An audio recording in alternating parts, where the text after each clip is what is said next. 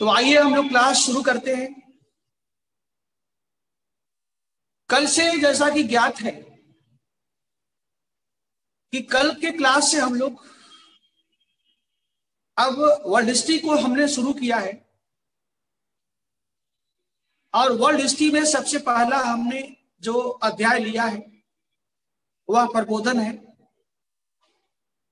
और जिसके बारे में कल हमने आपको बताया भी था। सबसे पहले आप मुझे बताइए कि प्रबोधन में आज हमें कहाँ से शुरू करना है? प्रबोधन में आज हम लोगों को कहाँ से शुरू करना है? प्रबोधन में आज हमें कहाँ से अध्ययन शुरू करना है? अच्छा बैकग्राउंड से शुरू करना है। ठीक है। यानी आज का विषय होगा सबसे पहले कि प्रबोधन का पृष्ठभूमि क्या है? पहले हम लोग इसके बारे में चर्चा करेंगे। ठीक है? अच्छा हो गया है। ठीक है। तो एक काम करते हैं हम। थोड़ा सा डिटेल्स जो है, उन बातों को आप लिख लीजिए। जो कल हमने चार पॉइंट बताए थे, उसके बारे में थोड़ा थोड़ा आप आज लिख लीजिए। और इसके बाद हम लोग अगला जो है पॉइंट को लेंगे। ठीक है? तो लिखिए, प्रबोधन का पृष्ठभूमि। प्रबोधन का पृष्ठभूमि लिखिए।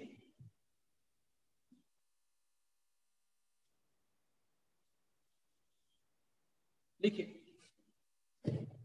प्रबोधन का विकास, प्रबोधन का विकास 17 और 18 सेंचुरी में 17 और 18 सेंचुरी में यूरोप में हुआ। 17 और 18 सेंचुरी में यूरोप में हुआ।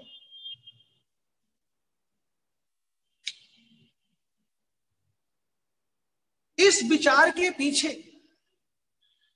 इस विचारधारा के उद्भव के पीछे, इस विचारधारा के उद्भव के पीछे, यूरोपीय समाज यूरोपीय समाज की आर्थिक की आर्थिक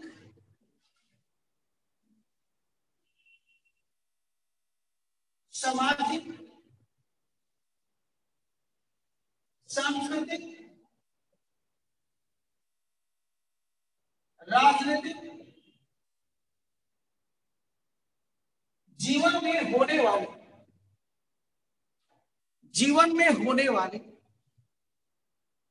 सकारात्मक परिवर्तन, होने वाले सकारात्मक परिवर्तन मुख्य रूप से उत्तरदायी था। मुख्य रूप से उत्तरदायी था। मुख्य रूप से उत्तरदायी था। जैसे नंबर वन, पहला। आर्थिक पृष्ठभूमि। पहला लिखिए, आर्थिक पृष्ठभूमि आर्थिक पृष्ठभूमि। आर्थिक पृष्ठभूमि। 17 और 18 सेंचुरी में। 17 और 18 सेंचुरी में यूरोप में, आर्थिक क्षेत्र में,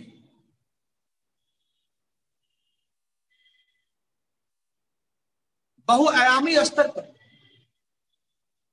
आर्थिक क्षेत्र में,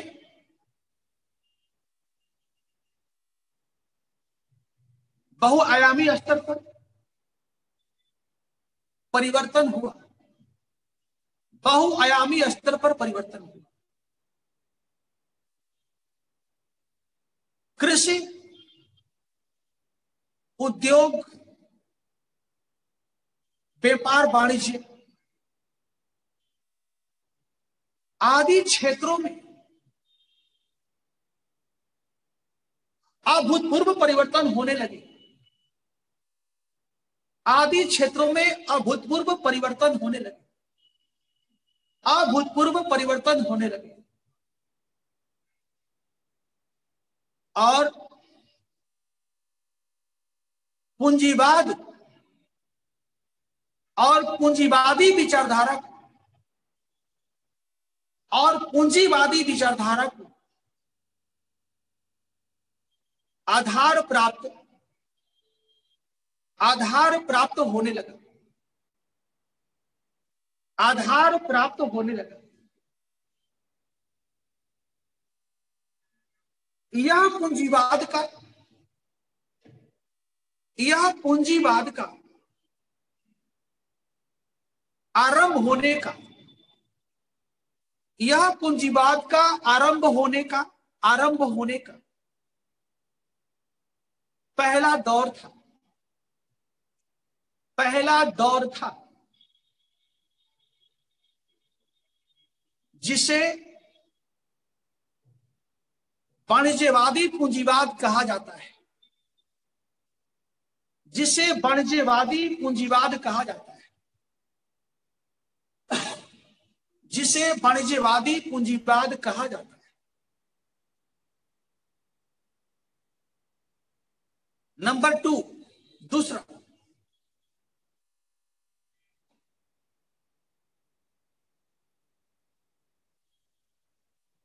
यूरोप में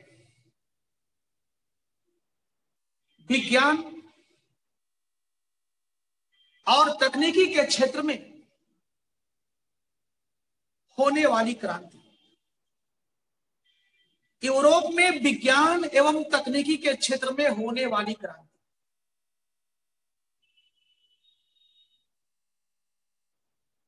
जिसके परिणाम स्वरूप मानव समाज मानव समाज के विचारधारा को मानव समाज के विचारधारा को विचारधारा को एक वैज्ञानिक आधार प्राप्त हुआ। एक वैज्ञानिक आधार प्राप्त हुआ। एक वैज्ञानिक आधार प्राप्त हुआ। जिसके आधार पर वह स्थापित परंपरा जिसके आधार पर वह स्थापित परंपरा, व्यवस्था, संस्था को स्वीकार अथवा अस्वीकार स्वीकार अथवा अस्वीकार करने की बात। स्वीकार अथवा अस्वीकार करने की बात करने स्वीकार अथवा अस्वीकार करने की बात करने लगा।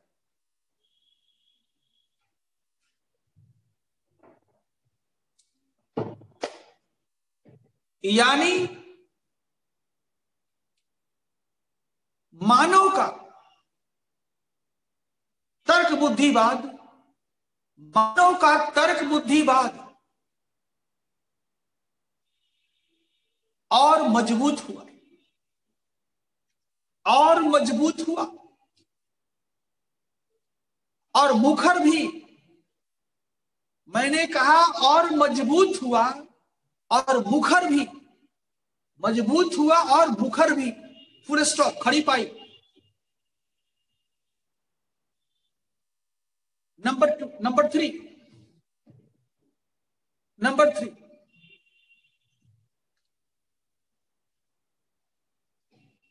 seventeen century में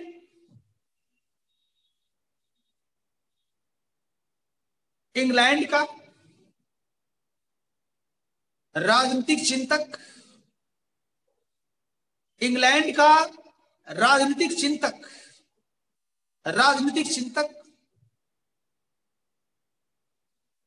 John Locke John Locke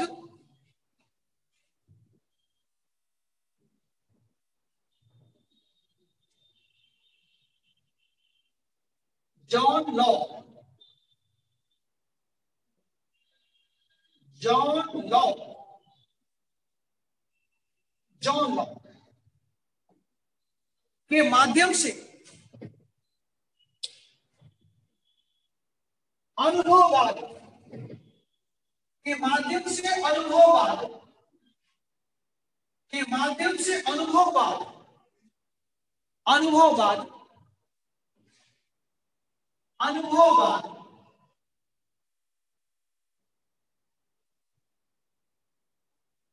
के विचारधारा को भी के विचारधारा को भी अनुभववाद के विचारधारा को भी इम्पिरिसिज्म इम्पिरिसिज्म अंग्रेज़ी में कहते हैं। अनुभववाद को अंग्रेज़ी में कहते हैं इम्पिरिसिज्म अनुभववाद को भी बौद्धिक आधार प्राप्त होने लगा। बौद्धिक आधार प्राप्त होने लगा। जो मानव के प्राकृतिक अधिकारों। मानव के प्राकृतिक अधिकार के साथ ही साथ समतावादी समाज समतावादी समाज तथा समतावादी समाज तथा राजनीतिक उदारवाद उदारवाद का समर्थन कर रहा था समतावादी समाज तथा राजनीतिक उदारवाद का समर्थन कर रहा था। राजनीतिक उदारवाद का समर्थन कर रहा था।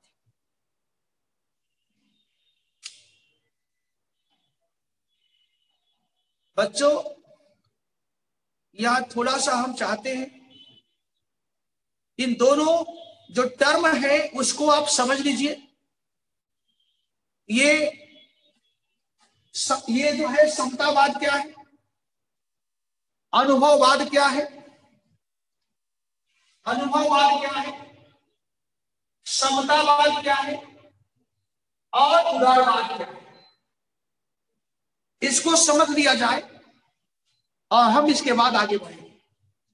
क्योंकि ये तीनों टर्म बहुत महत्वपूर्ण है। इन तीनों का बाद में आप देखोगे कि यूरोप में समाज का निर्माण हुआ। यूरोप में संस्कृति का निर्माण हुआ। यूरोप में अर्थव्यवस्था का निर्माण हुआ। तो उनके निर्माण में इनका भी योगदान था। इसलिए ज़रूरी है कि हमें समझना चाहिए उदारवाद किसे कहते हैं, समतावाद किसे कहते हैं, अनुभववाद किसे कहते हैं, बुद्धिवाद किसे कहते हैं, इन चीज़ों को समझना चाहिए। देखिए, अनुभववाद क्या आप में से कोई बताएगा?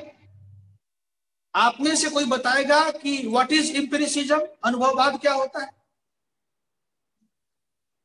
कोई बच्चा आपके ओर से बताएगा अनुभववाद क्या होता है? ज्योति, आप बताइए। ज्योति, यदि आप मेरी आवाज़ सुन रही हैं, आप बताइए।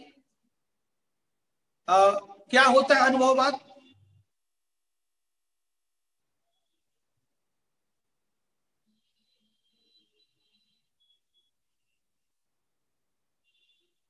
बिल्कुल प्रियंका ने सही कहा। बहुत सुंदर। ठीक है ना? सोनम का भी उत्तर बहुत अच्छा है, बहुत बढ़िया।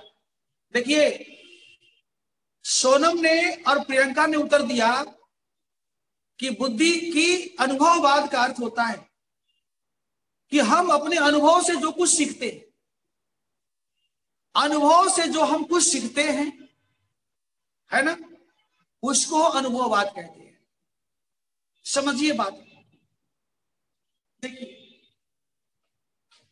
ये जॉन लॉक है, ये कौन है जॉन लॉक आपको बोर्ड दिखाई दे रहा है? जरा बोलिए, बोर्ड दिखाई दे रहा है आपको? लिखा हुआ चीज़ दिखाई दे रहा है? मैंने क्या लिखा है? ठीक है। ये जॉन लॉक है अच्छा ये इंग्लैंड का। जॉन लॉक कहाँ का है इंग्लैंड का। इसका समय जो है, वह सेवेंटीन सेंचुरी है। इसका समय सेवेंटीन सेंचुरी है। और यह इंग्लैंड का क्या है? राजनीतिक दार्शनिक। इंग्लैंड का राजनीतिक दार्शनिक है इंग्लैंड का राजनीतिक दार्शनिक। है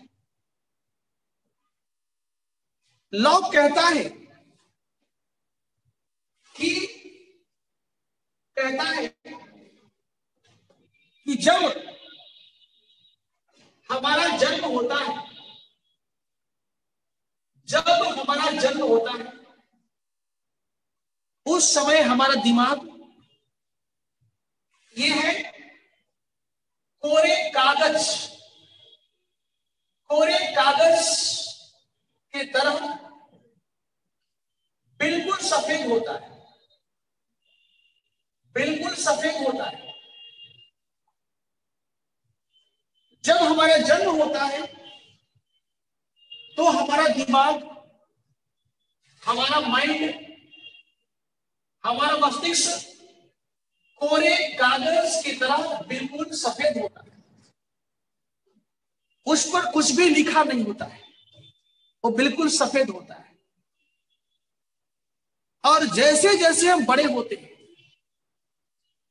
तो हम अनुभव के द्वारा हम नई नई बातों को सीखते हैं।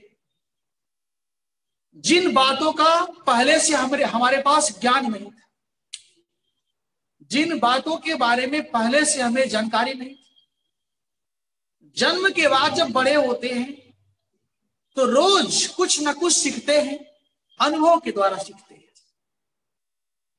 लॉ कहता है। और इसके बाद लॉ कहता है कि जब समाज में सारे लोग अपने जन्म के समय एक थे। समाज में सारे लोग अपने जन्म के समय एक थे। सबका दिमाग कोरे कागज़ था। तो कोई भी व्यक्ति जन्मजात अधिकारों का दावा नहीं कर सकता। जब जन्म के समय सभी लोग समान थे तो कोई व्यक्ति जन्म के आधार पर यह दावा नहीं कर सकता कि हम श्रेष्ठ हैं और हमें अधिकार अधिक मिलना चाहिए। यानी राहुल गांधी हो, अखिलेश यादव हो, तेजस्वी यादव हो, ये जितने नेता हैं, ये लोग इसलिए दावा नहीं कर सकते कि कोई गांधी के परिवार में पैदा हुआ है। इसलिए वह शासन करेगा। नहीं। शासन करने का अधिकार उसको रहेगा जिसके पास अनुभव अधिक होगा और अनुभव जन्म के आधार पर नहीं होता है, बल्कि हम धीरे धीरे उसको ग्रहण करते हैं। और इसी बात के आधार पर बच्चों, लॉक ने समतावादी समाज के निर्माण करने का सुझाव देता है। समतावादी समाज जिसमें किसी व्यक्ति के पास जन्म सिद्ध अधिकार नहीं होगा। किसी व्यक्ति के पास जन्मजात अधिकार नहीं होगा। जिसके पास अनुभव अधिक होगा, उसके पास अधिकार अधिक होगा। यह लॉजिकल है, ध्यान में रखना। तो ये अनुभववाद है और ये समता अब हम देखते हैं उदारवाद क्या है। देखिए उदारवाद बच्चों, एक बहुत बड़ा कंसेप्ट है, बहुत बड़ा कंसेप्ट है, ध्यान दिए उदारवाद एक ऐसा कंसेप्ट है कि इसी से निकला है पूंजीवाद। उदारवाद से ही निकला है पूंजीवाद, ध्यान दें। उदारवाद जो है, आप समझिए ध्यान से कोई छोटा मोटा कंसेप्ट नहीं। ये बहुत बड़ा विचार है, व्यापक है। अब देखो, उदारवाद क्या कहता है? समझिए बात। बोर्ड के माध्यम से। उदारवाद कहता है कि मानव, जो मानव है वह वह विवेकशील होता है। मानव विवेकशील होता है। मानव क्या होता है? विवेकशील होता है। उसके पास दिमाग होता है। आगे क्या करता है? कि मानव स्वभाव से अच्छा होता है। स्वभाव से अच्छा होता है। मानव विवेकशील होता है और मानव स्वभाव से अच्छा होता है। ये मैं नहीं कहता हूँ, लॉक कहता है। आगे क्या कहता है? कि चूँकि मानव स्वभाव से अच्छा होता है और विवेकशील भी होता है, इसलिए मानव को अधिकार मिलना चाहिए। अधिकार मिलना चाहिए। मानव को अधिकार मिलना चाहिए। किस लिए अधिकार मिलना चाहिए? अधिकार मिलना चाहिए यह निर्णय करने के लिए यह निर्णय करने के लिए, करने के लिए कि वह नंबर वन राजनीति कैसा चाहता है? वह राजनीति कैसा चाहता है। वह समाज कैसा चाहता है। वह धर्म कैसा चाहता है। वह साहित्य कैसा चाहता है। वह अर्थव्यवस्था कैसा चाहता है। क्या ये लोग कहता है। बस एक मिनट समय थोड़ा और दीजिए। एक बार हम रिपीट करते हैं उनको जोड़ने के लिए। लॉ कहता है कि लॉ है। एल ओ सी के लॉ। जॉन लॉ वो कहता है कि मानव मानव स्वभाव से अच्छा है। और मानव विवेकशील प्राणी होता है। अच्छी बात। तो मानव अच्छा होता है और मानव विवेकशील होता है तो मानव के पास अधिकार मिलना चाहिए, ताकि वह बिना किसी बाधा के डिसीज़न ले सके। क्या ले सके? डिसीज़न ले सके। अब प्रश्न ये है कि मानव क्या डिसीज़न लेगा? मानव क्या निर्णय लेगा? तो लॉ कहता है कि मानव निर्णय लेगा कि राजनीति कैसा होगी।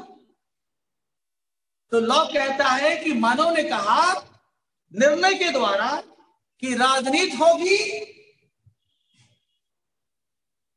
सीमित होगी, राजा सीमित होगा। क्या होगी? सीमित राजतंत्र होगी। राजा निरंकुश नहीं होगा।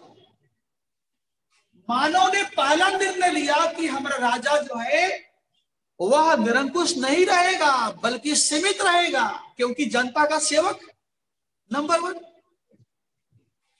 मानव ने कहा कि समाज कैसा होगा? तो मानव ने कहा कि समाज समतावादी होगा। समाज क्या होगा? समतावादी होगा। सॉरी इधर नहीं दिखाई दे रहा है मैं इधर लिखता इधर इधर मैं लिखता राजनीति कैसा होगा भाई मानव ने कहा कि राजनीति होगा सीमित सीमित राजतंत्र होगा मानव ने कहा कि समाज कैसा होगा तो मानव ने कहा कि समाज समतावादी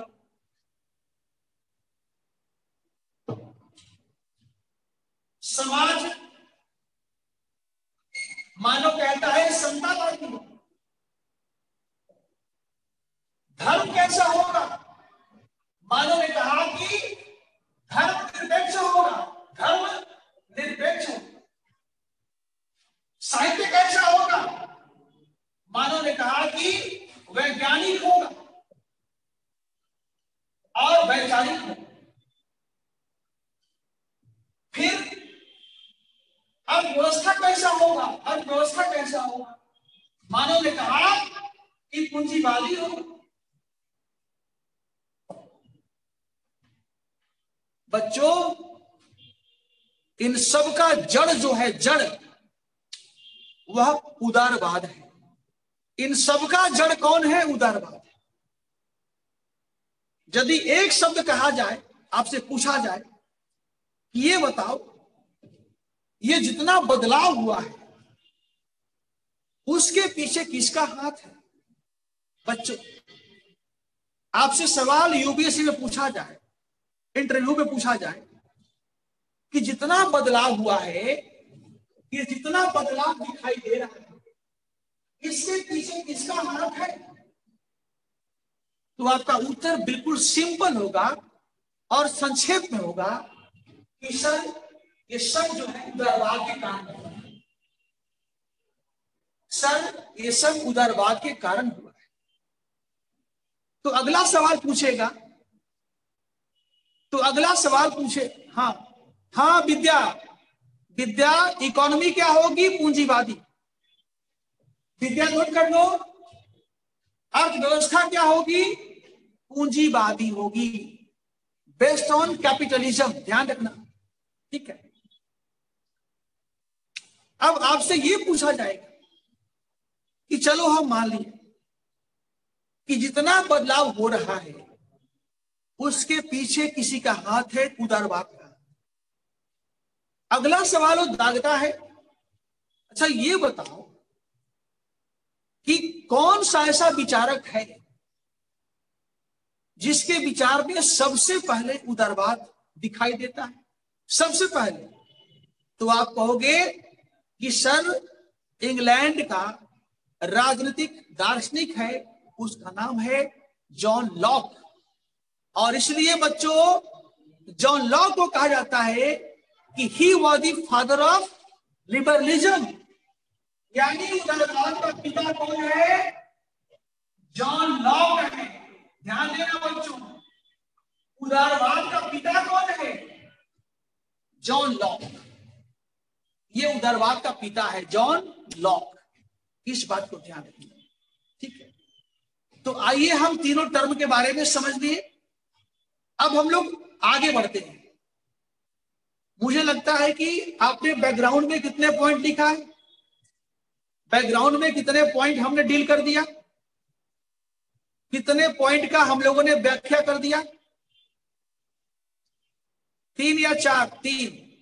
सविता, तीन है तो आप चौथा लिखिए, चौथा। चौथा पॉइंट लिखिए।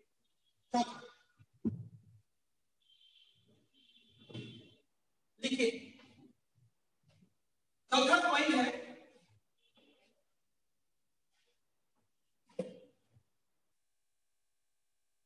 यूरोप में यूरोप में एक मज़बूत एक मज़बूत मध्य वर्ग मध्य वर्ग का उदय। यूरोप में एक मज़बूत मध्य वर्ग का उदय। मध्य वर्ग का उदय। मध्य वर्ग का उदय। लिखिए। यूरोप में यूरोप में होने वाले आर्थिक विकास के कारण, होने वाले आर्थिक विकास के कारण, एक मज़बूत और समृद्ध एक मज़बूत और समृद्ध मध्य वर्ग का उदय हुआ। एक मज़बूत एवं समृद्ध मध्य वर्ग का उदय हुआ। जो बुद्धिवाद जो बुद्धिवाद एवं मानवतावाद जो बुद्धिवाद मानवतावाद के ज़रिए जो बुद्धिवाद एवं मानवतावाद के ज़रिए यूरोप में एक नवीन एक नवीन समाज का सृजन करना चाहता है। सृजन करना चाहता है। सृजन करना चाहता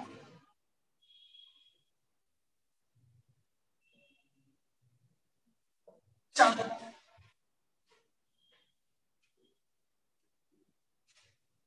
जैसा कि बाद में, जैसा कि बाद में सत्रह सौ नवासी में। सत्रह सौ नवासी होने वाली फ्रांसीसी क्रांति के बाद, फ्रांसीसी क्रांति के बाद दिखाई देता है। फ्रांसीसी क्रांति के बाद दिखाई देता है। फ्रांसीसी क्रांति के बाद दिखाई देता है।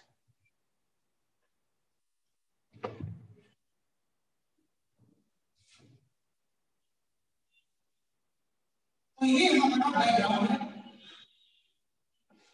जिसके कारण सेवेंटीन और एटीन सेंचुरी में यूरोप में प्रबोधन का विचारधारा प्रतिष्ठित हुआ, लोकप्रिय हुआ।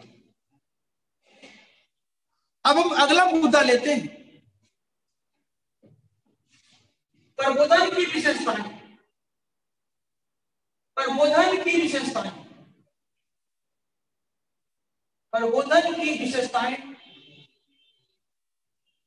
या आप कह सकते हैं, इसका स्वरूप।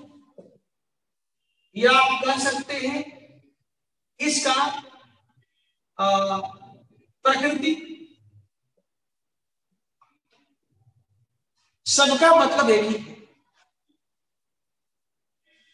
प्रबोधन की स्वरूप विशेषताएँ स्वरूप प्रकृति nature character of enlightenment enlightenment ठीक है? तो आइए हम लोग देखते हैं कि प्रबोधन की क्या विशेषताएँ मैं एक एक को लिखता हूँ। आप भी पीछे से आप नोट कीजिए, लिखते रहिए। सबसे पहला है, तर्क बुद्धिवाद। तर्क बुद्धिवाद। पहला है तर्क बुद्धिवाद। दूसरा मानवतावाद दूसरा है मानवतावाद दूसरा है मानवतावाद तीसरा है समतावाद समतावाद समतावाद हो गया। चौथा हो गया।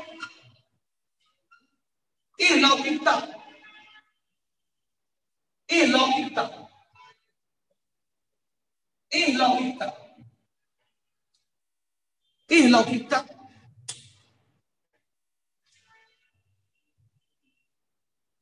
पांचवा आशावाद आशावाद छठा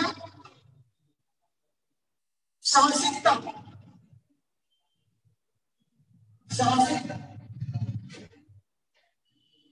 सातवा प्रकृतिवाद प्रकृतिवाद प्रकृतिवाद एवं देववाद प्रकृतिवाद एवं देववाद प्रकृतिवाद और देववाद। ये प्रबोधन का मूल विशेषताएँ अमन, पहले तो इसको नोट कर लो। यह प्रबोधन का मूल विशेषताएँ ठीक है?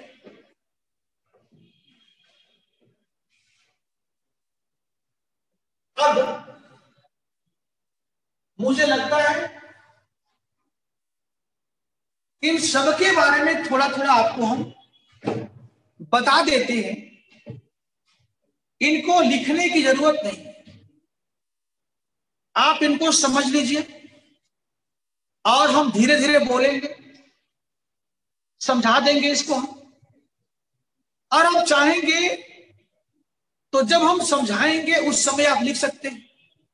क्योंकि इसमें कुछ लिखने वाला चीज़ नहीं ये विचार है। आइडियोलॉजी है, विचारधारा है, सोच है, एक दर्शन है। तो जो विचार होते हैं, उनको समझना होता है। उनको रटना नहीं होता है। और लिखने से काम नहीं चलता है, जब तक कि आप समझे। समझिए बात। सबसे पहला हमने लिया तर्क बुद्धिवाद तर्क बुद्धिवाद यानी इसमें एक शब्द है तर्क दूसरा शब्द है बुद्धि। और तीसरा शब्द है वाद। तर्क, दूसरा बुद्धि और तीसरा वाद। तीनों को मिलाते हैं तो बनता है तर्क बुद्धिवाद तर्क का मतलब होता है जाँच करना। जाँच करना क्या सही है? क्या सही है? क्या गलत है? जो तर्क है उसका मतलब है जाँच करना कि क्या सही है और क्या गलत है।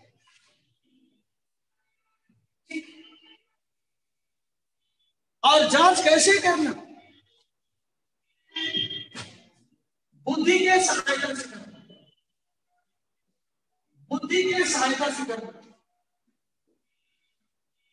बुद्धि के सहायता से करना। अब आप पूछेंगे, बुद्धि क्या होता है? तो बुद्धि है, यह चेतना है।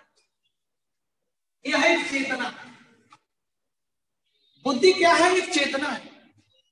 कंससनेस बुद्धि क्या है? चेतना है। कंससनेस है। अर्जित ज्ञान है। अमर ने कहा, अर्जित ज्ञान। ठीक? यानी तर्क बुद्धिवाद दोनों का अर्थ होता है कि बुद्धि के ज़रिए यह जाँच करना क्या सही है और क्या गलत है? और वाद का मतलब क्या है? वाद का मतलब होता है विचारधारा। इसका मतलब होता है विचारधारा। यानी वाद मतलब विचारधारा। इसका मतलब हो गया विचारधारा। विचारधारा। यानी तर्क बुद्धिवाद एक ऐसी विचारधारा है जिसमें मानव बुद्धि के सहारे किसी बात को जानने का प्रयास करता है। यह जानने का प्रयास करता है कि कौन सही है, कौन गलत है। और इसके लिए वो क्या करता है? विज्ञान का सहारा लेता है। इसके लिए विज्ञान का सहारा लेता है। और विज्ञान कहता है कि पहले प्रयोग करो, पहले प्रयोग करो। विज्ञान कहता है, पहले प्रयोग करो, और यदि प्रमाण सही आता है, पहले प्रयोग करो। यदि प्रमाण सही आता है, तब तो ठीक है। प्रमाण गलत आता है, तब तो गलत है। यानी तर्क बुद्धिवाद एक वैज्ञानिक विचारधारा है, जिसमें प्रयोग के माध्यम से, जाँच के माध्यम से, समीक्षा के माध्यम से पर्यवेक्षण के माध्यम से, परीक्षण के माध्यम से, है ना? हम प्रमाण निकालते हैं। और यदि परिणाम, यानी कि प्रमाण यदि प्रमाण हमारे अपेक्षा के अनुरूप आते हैं तो हम कहते हैं, भैया, सही है। यदि प्रमाण हमारे अपेक्षा के विपरीत आते हैं तो हम कहते हैं, भैया, गलत है, क्योंकि इसका प्रयोग कहता है कि इसमें सच्चाई नहीं इसको कहते हैं हम तर्क बुद्धिवाद कहते ध्यान देना बच्चों, अपने जीवन में आप इन बातों को लागू कर। ये बातें केवल पढ़ने के लिए नहीं, इनका महत्व यही नहीं है कि आपने पढ़ लिया, परीक्षा में लिख दिया, पास कर गए आइए इसका महत्व पूरे जीवन में है। यदि ये सातों को यदि सातों विशेषताओं को आप अपने जीवन में उतार देते हैं तो मैं दावा कर सकता हूँ कि आपको जीवन में कहीं भी, कभी भी और किसी से भी समस्या नहीं होगी। कारण तो ये ये जो निर्णय देता है, बच्चों, जो इसका निर्णय होता है, वो कभी गलत नहीं होता है। यहाँ से जो होगा, वो गलत हो सकता है। यहाँ से जो होगा, वो गलत यानी जो भावुक आदमी है, वह कभी कभी परेशान तो हो जाएगा। लेकिन जो भावुक नहीं है, जो दिमाग से काम करता है, वह कभी वह कभी परेशान नहीं हो। ठीक है? तो बच्चों, इस बात को ध्यान रखना कि चाहे वार करना मेरी बात को अन्यथा मत लेना। मैंने कहा, चाहे वार करना, चाहे प्रेम करना, हमेशा दिमाग से करना। यहाँ से करना ठीक है, लेकिन यहाँ से ज़रूर करना। आप फेल नहीं करेंगे। ठीक है? चलिए। अगला मैं लेता हूँ मनोतावाद अगला मैं लेता हूँ मनोतावाद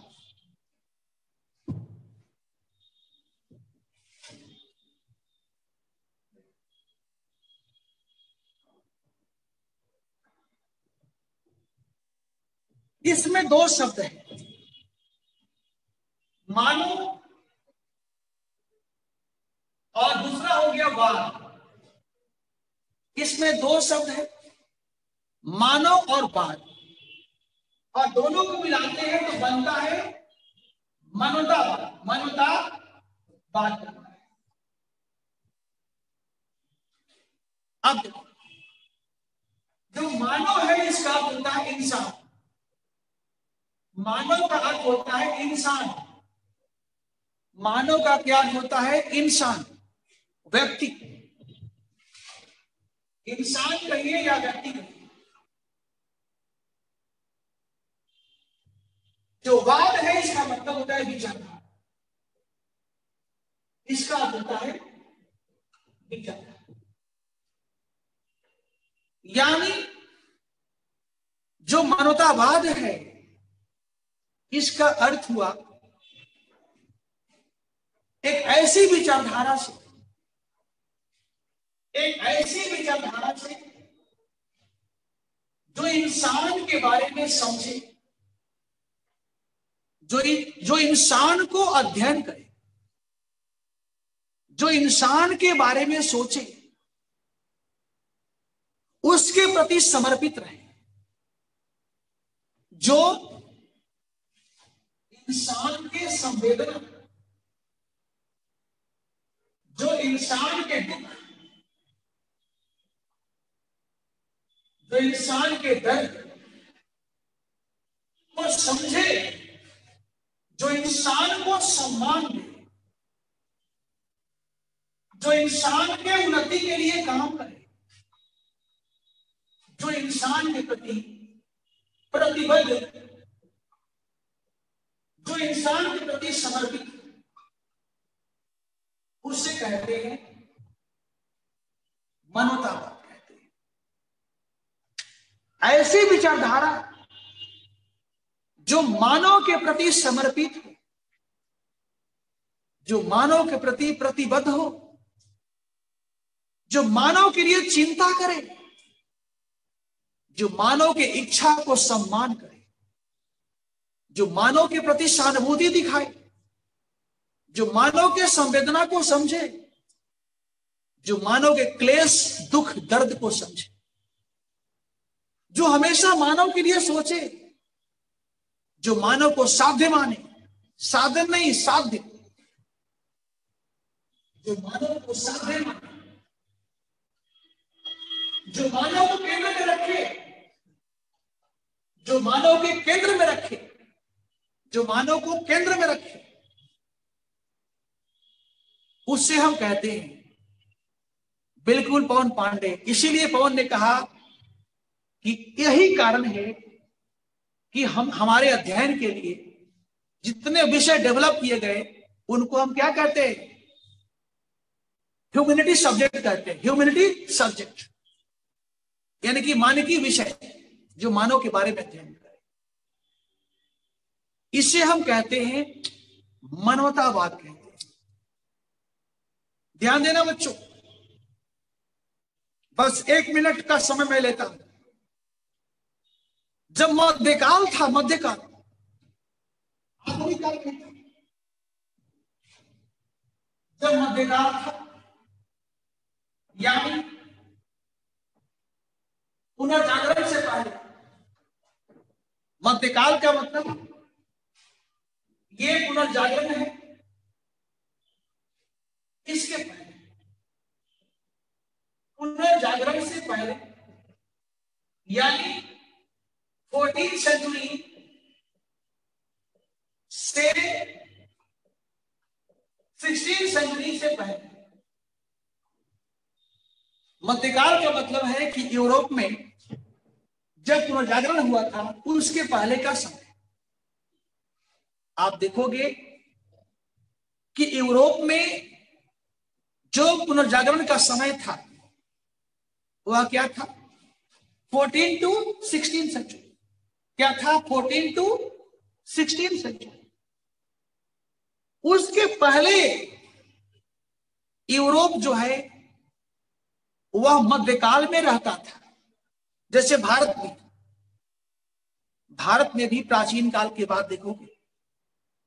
कि हर्ष के पतन के बाद, हर्ष के बाद, हर्षवर्धन के बाद जो दौर शुरू हुआ वह भारत में भी मध्यकाल का दौर था, जिसको हम सामंतवाद का दौर भी कहते हैं। इस दौर में क्या हुआ? इस दौर में आप देखोगे कि मध्यकाल में दौर ये समाज है। ये समाज है। क्या है समाज? ये समाज समाज में देखोगे, धर्म, प्रभाव, धर्म का प्रभाव। समाज में धर्म का प्रभाव था। राजा निरंकुश था। राजा निरंकुश समाज समाज सामंतवादी समाज सामंतवादी। का मतलब हुआ कि कुछ लोग कुछ लोग के पास बहुत अधिकार बहुत अधिकार, जिनको कुलीन कहते थे, जिनको कुलीन वर्ग कहते थे, जिनको समंत कहते थे जिनको लॉर्ड कहते थे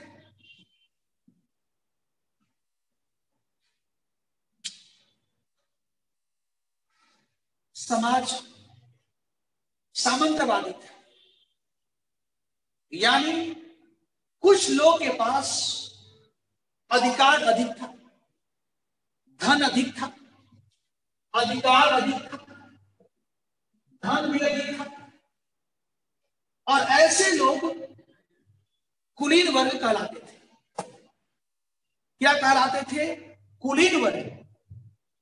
क्या कहलाते थे? सामंत वर्ग। क्या कहलाते थे? लॉर्ड। लॉर्ड, सामंत और कुलीन वर्ग, एलिट क्लास। राजा क्या था? निरंकुश उस समय जो अर्थव्यवस्था था, अर्थव्यवस्था, वह क्या था? वह सामंतवादी वह सामंतवादी यानी जो अर्थव्यवस्था है, वह भी सामंतवादी यानी इसका मतलब हुआ कि इसमें उद्योग, मुद्रा नगर, व्यापार, बैंक, ये सब डेवलप नहीं थे। ये सब डेवलप नहीं थे। जब हम ये कहे बच्चों कि मध्यकाल का जो इकोनॉमी था, मेरी बातों को ध्यान से सुनना। देखो, मेरा मानना है कि भाई पढ़ना एक ही बार है। मेरा तो काम है पढ़ाना।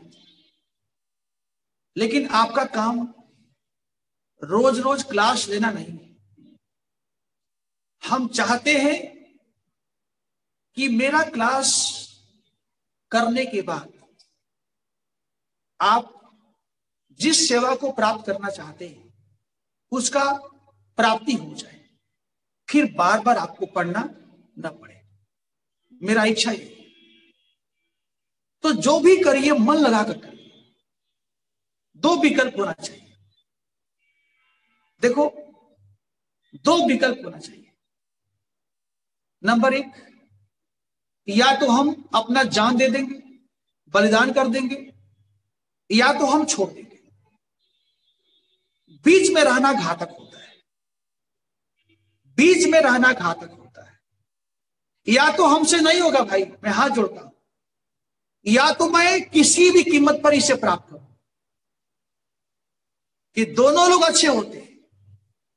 जो ये कह दिया कि हम नहीं करेंगे, वह कुछ दूसरा कर लिया, वह कुछ दूसरा कर लिया, और जो कह दिया कि हम करेंगे, वो भी कर लिया।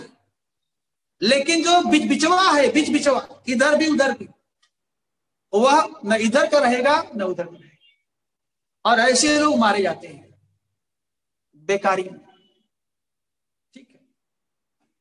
इसलिए खूब जमकर मेहनत करिए। ठीक है? मैंने कहा कि जब हम ये कहें आपसे कि मध्यकाल का जो इकोनॉमी है, अर्थव्यवस्था है, वह सामंतवादी है तो इसका तात्पर्य क्या होगा?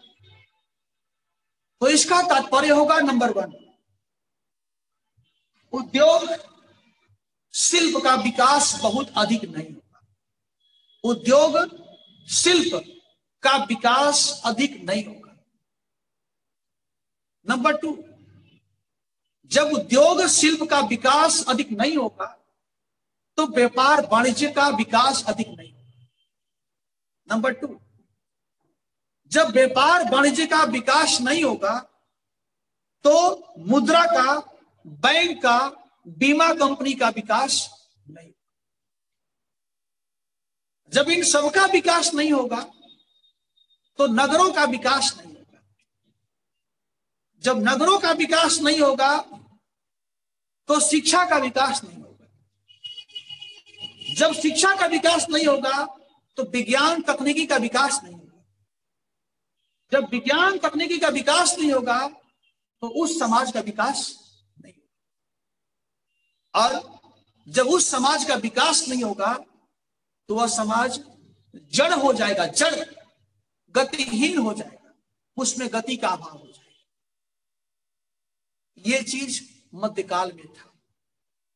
जब पूरा इकोनॉमी ग्राम आधारित हो गया था ग्राम आधारित मतलब गाँव तक सीमित रह। बाहर से आदान प्रदान नहीं होता था। तो मध्यकाल में क्या था बच्चों? कि मानव का कोई कदर नहीं था। मानव का कोई सम्मान नहीं था। मध्यकाल में मानव केवल एक साधन था, साध्य नहीं था। कैसे? ये धर्म हो गया। और ये संबंध हो गए कुलीन वर्ग हो गए। इन दोनों में गठजोड़ होता था।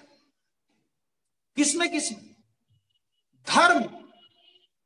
और जो कुलीन वर्ग है, कुलीन वर्ग, जो धनी लोग हैं, इन दोनों में आपस में गठजोड़ होता था।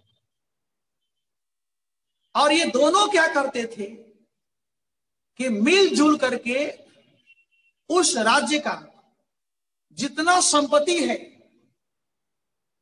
और जितना अधिकार है, उस पर अपना कब्जा कर लेते थे वह इनके कब्जे में आ जाता था।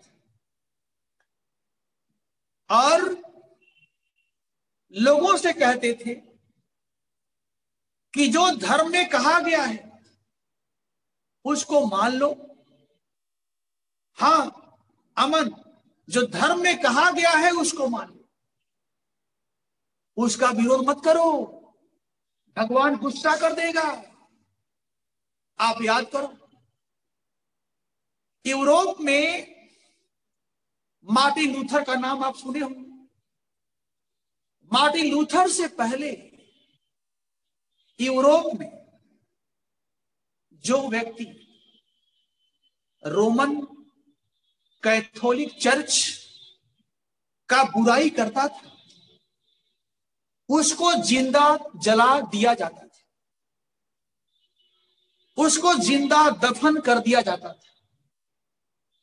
किसने भगवान का अपमान किया है? यानी मध्यकाल में धर्म कैसा था? ऐसा धर्म था जिसके सामने मानव का इंसान का कोई कदर नहीं अब क्या है? अब प्रबोधन में यह बदल गया। अब प्रबोधन में यह कहा जाने लगा कि कोई भी व्यवस्था बनाई जाएगी। ध्यान रखना, इसको मैं समाप्त कर रहा हूँ। इसको मैं एंड कर रहा हूँ। ये मेरा अंतिम जो है इसके बारे में सेंटेंस है। प्रबोधन कहता है कि कोई भी विचारधारा बनाई जाएगी तो उसमें देखा जाएगा कि वह विचारधारा, वह संस्था, वह कानून, वह परंपरा मानव के हित में है कि नहीं। यदि वह मानव के हित में नहीं है तो हम इसे स्वीकार नहीं करें दिस इज़ वॉट इसको कहते हैं मानवतावाद कहते हैं। अब आइए समतावाद की ओर चलते हैं, जिसके बारे में आपको मैंने बताया है। समतावाद के बारे में हम बताते हैं।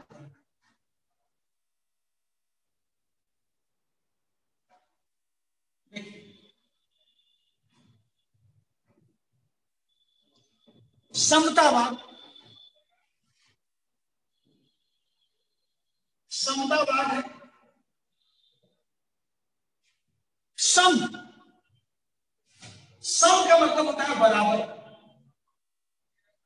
सम का मतलब होता है बराबर। बराबर। यानी इक्वल सम का मतलब बराबर इक्वल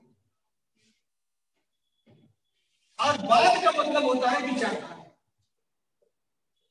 और इसका मतलब होता है विचार। विचार। यानी ऐसी विचारधारा जो बराबरी की बात करे। जो बराबरी की बात करे। जो समानता की बात करे। जो बंधुता की बात करे। जो भाईचारे की बात करे, जो ऊंच नीच की बात न करे, की बात न करे उससे हम समतावाद कहते हैं। ऐसी विचारधारा जो बराबरी की बात करे, जो समानता की बात करे, जो बंधुता की बात करे, जो भाईचारे की बात करे जो ऊंच नीच की बात ना करे, उसको कहते हैं समता। राइट अब देखोगे बच्चों, कि मध्यकाल में क्या था? मध्यकाल में क्या था? मध्यकाल में आप देखोगे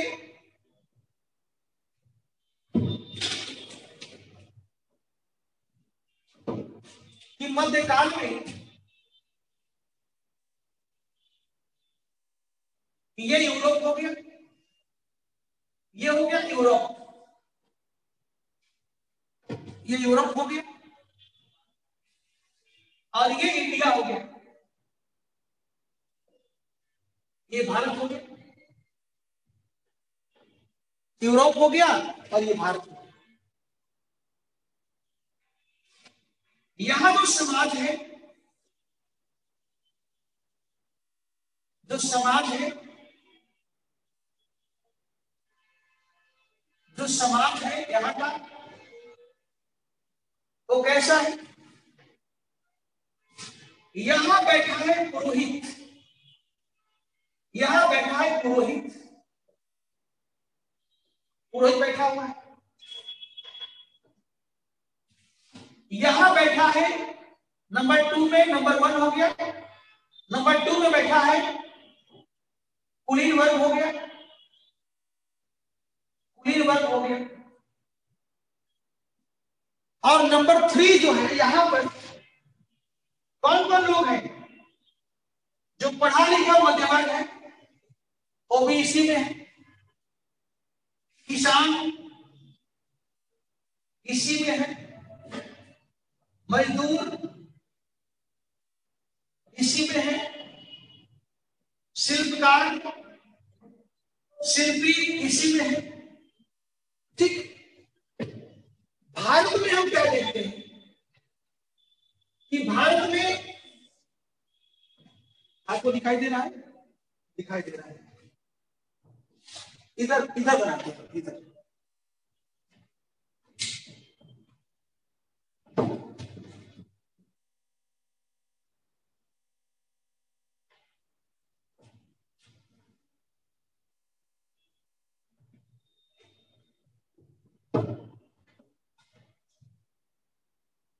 ये भारत है। भारत में देखते हैं, जो समाज है, वो ऐसे यहाँ बैठा है ब्राह्मण। ठीक है ना? ये ब्राह्मण हो गया। नंबर एक में, नंबर दो में क्षत्रिय हो गया। क्षत्रिय हो गए नंबर थ्री वैश्य हो गया। और नंबर फोर शूद्र हो गया। ये समाज है। इंडिया का और ये समाज है यूरोप। का मोर और लेस एक समान है। दोनों में बहुत अंतर नहीं। जैसे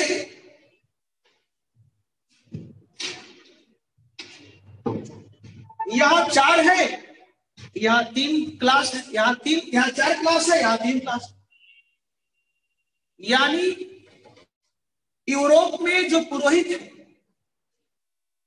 वो भारत में ब्राह्मण है। वो भारत में क्या है? ब्राह्मण है। यूरोप में जो कुलीन वर्ग है वो भारत में क्या है? क्षत्रिय। वो क्षत्रिय हो गया। और यूरोप में जो किसान, मजदूर, शिल्पी, ये सब है, वो भारत में क्या हो गए? शूद्र। वो भारत में शूद्र। मध्यवर्ग, चूँकि पढ़ा लिखा है तो मध्यवर्ग का मतलब हुआ कि इंडिया में ये आ जाए कहाँ पर ये ब्राह्मण में आ इंडिया में ये कहा जाएगा? ब्राह्मण में क्योंकि वेदों का अध्ययन, क्योंकि वेदों का पढ़ने का, वेदों का पढ़ने का अधिकार किसको था? ब्राह्मण को था। ठीक? राइट तो ध्यान रखना। ये मध्यकालीन समाज का स्ट्रक्चर है बनावट है। आप देखो, अब यहाँ लॉक आ गया। यहाँ लॉक आ गया। लॉक आ गया। कब आया? पुनर्जागरण। पुनर्जागरण के काल में आ गया। लॉक आ गया कब? पुनर्जागरण के काल में आ गया, लॉक। लॉक आ गया। समझिए ध्यान लॉक ने कहा कि यहाँ पर हमने ये देखा, यहाँ पर हमने ये देखा। लॉक ने कहा यहाँ पुरोहित से, लॉक ने यूरोप का जो पुरोहित है, पुरोहित और पुरी इन दोनों से कहा कि आपको यह अधिकार किसने दिया है? लॉक जो है, यूरोप के पुरोहित, यानी चर्च चर्च और पुलिस वर्ग से कहा कि आपको यह अधिकार कौन दिया है? तो पुरोहित ने कहा, कौन सा अधिकार? कुलीन वर्ग ने कहा, कौन सा अधिकार की बात कर रहे हैं? लॉक ने कहा कि मैं यह जानना चाहता हूँ कि आप राज्य को एक पैसा कर नहीं देते। ध्यान से मेरी बात को समझो। आप राज्य को एक पैसा टैक्स नहीं देते। एक पैसा राज्य को टैक्स आप नहीं देते। आप दोनों लोग, आप दोनों राज्य राज्य को एक पैसा टैक्स नहीं देते। कौन कौन? चर्च और कुलीन। जबकि फ्रांस के अंदर जितना ज़मीन है, उस ज़मीन का 40 परसेंट तुम्हारे पास है। फ्रांस में जितना ज़मीन है उस ज़मीन का 40 परसेंट पर अधिकार किसका किसका है? चर्च का है और कुलीन का है। और 40 परसेंट ज़मीन पर कब्जा करने के बावजूद एक पैसा तुम टैक्स नहीं देते हो। मेरा पहला सवाल लॉ कहता है। का और बताओ, और क्या तुमको समस्या है? लॉक ने कहा कि हमारा दूसरा समस्या है कि राज्य के अंदर जितने बड़े बड़े पद हैं आई एस पीसीएस जज इंजीनियर डॉक्टर सांसद, विधायक, वो सब तुम ही लोग बनते हो। वो सब तुम ही लोग बनते हो। या तो पुरोहित बनता है, या तो तुम बनते हो। जबकि और भी समाज में विद्वान लोग हैं और भी पढ़े लिखे लोग हैं जो जज बन सकते हैं, जो सेना में बड़े पद को प्राप्त कर सकते हैं, जो डॉक्टर बन सकते हैं। लेकिन तुम लोग कहते हो, दोनों कुलीन और चर्च, कि तुम नहीं बन सकते। हमने कहा, क्यों नहीं बन सकते? क्या मेरे में योग्यता नहीं है? तुम दोनों कहते हो, यहाँ योग्यता नहीं। यहाँ जन्मजात अधिकार चाहिए। तुम बताओ, तुम्हारा खानदान का नाम क्या है? तुम किस कुल में पैदा हुए हो? तुम्हारे पिता का नाम क्या है? तुम्हारा खानदान क्या है? तुम्हारा फैमिली क्या है? पहले ये बताओ। तो मुझे ये भी समस्या है कि योग्यता का कोई महत्व नहीं केवल यहाँ पर परिवार, रक्त खून खून रक्त, और किस परिवार से तुम संबंधित हो, इससे भी मैं नाराज़ हूँ। ठीक? तब इन दोनों ने लॉक से पूछा तो आप क्या कहना चाहते आखिर दोनों से समस्या है तो आखिर यह समस्या क्यों है? आज तक किसी ने नहीं कहा। आज तक किसी ने नहीं कहा कि यह समस्या है। तब लॉक ने कहा कि मेरी बातों को ध्यान से दोनों सुनो। किसको? चर्च को और कुरिन वर्ग को। कहा कि जब हम पैदा होते हैं हम, तुम या ये। जब हम पैदा होते हैं, हम चर्च या ये कुलीन वर्ग। तीनों का दिमाग कोरे कागज़ था। तीनों का दिमाग कोरे कागज़ था।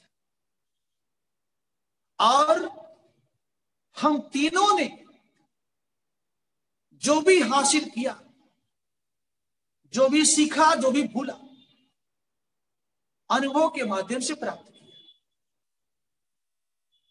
जब सब कुछ अनुभव के माध्यम से ही प्राप्त होता है तो फिर तुम कैसे कह सकते हो कि तुम्हें कर न देने का, तुम्हें कर न देने का, या बिना योग्यता के, बिना योग्यता के राज्य के बड़े पदों पर नौकरी पाने का अधिकार है? तुम कैसे कह सकते हो ये तुम्हारा जन्मजात अधिकार है? क्योंकि जन्म के समय तुम भी और हम भी दोनों समान थे। यानी लॉ का कहना था कि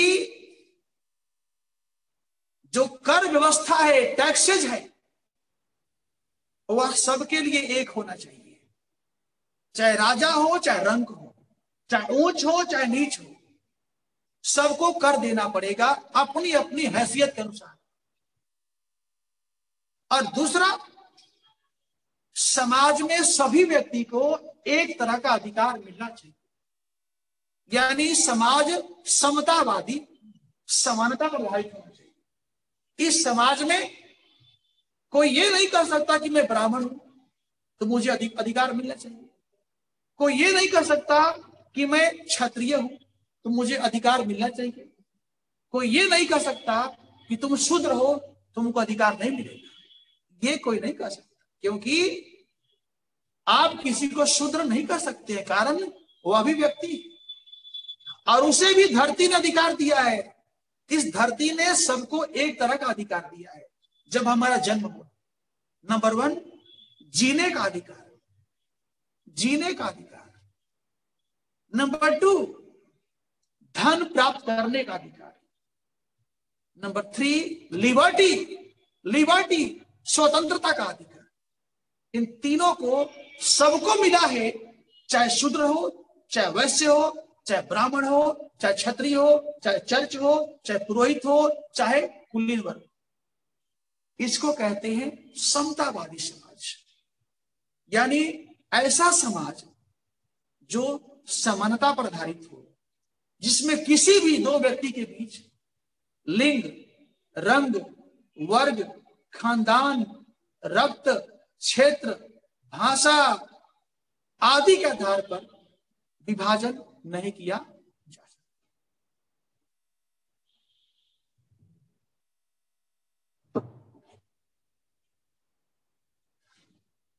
अब बताइए, अगला क्या रहा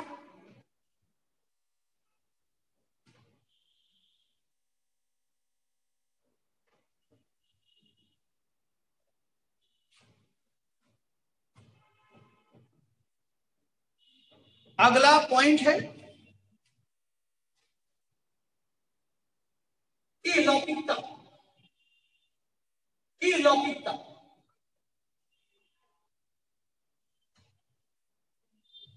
अलौकिकता ठीक? देखिए। जो इह शब्द है, इह। इह का मतलब होता है यहाँ। इह का मतलब होता है यहाँ। ए मीन्स यहाँ अलौकिक मीन्स यह संसार यह लौकिक का मतलब होता है यह संसार ध्यान जब आप पढ़ोगे धर्म के बारे में पढ़ोगे अध्यात्म के बारे में पढ़ोगे धर्म अध्यात्म के बारे में